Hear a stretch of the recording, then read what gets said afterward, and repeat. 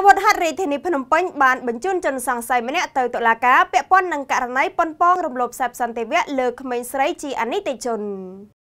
កាលពីរសៀលថ្ងៃទី25ខែមករាឆ្នាំ2022ម្សិលមិញសមត្ថកិច្ចជំនាញនៃការិយាល័យប្រឆាំងបទល្មើសជួញដូរមនុស្សនៃកងរាជអាវុធហត្ថរាជធានីភ្នំពេញបានបញ្ជូនជនសង្ស័យម្នាក់ទៅសាលាដំបងរាជធានីភ្នំពេញដើម្បីផ្ដន្ទាទោសតាមនីតិវិធីច្បាប់ដែលពាក់ព័ន្ធនឹងករណីប៉ុនប៉ងរំលោភសេពសន្តិវៈលើក្មេងស្រីជាអនិច្ចជន កងរាជអាវុធហត្ថរាជធានីភ្នំពេញបញ្ជាក់ថាជនសង្ស័យមានឈ្មោះខុនខងហៅក្រៅលយភេទប្រុសអាយុ34ឆ្នាំមានស្រុកកំណើតនៅភូមិត្បូងឃុំខ្ចាស់ស្រុកសុតនិគមខេត្តសៀមរាបបច្ចុប្បន្នស្នាក់នៅផ្ទះផលិតទឹកសុទ្ធក្នុងសង្កាត់ចំចាស់ទី3ខណ្ឌពោធិ៍សែនជ័យរាជធានីភ្នំពេញសមត្ថកិច្ចជំនាញមូលដ្ឋានអាវុធហត្ថខណ្ឌពោធិ៍សែនជ័យបានឲ្យដឹងថាបន្ទាប់ពីទទួលបានព័ត៌មានតាមរយៈលេខទូរស័ព្ទ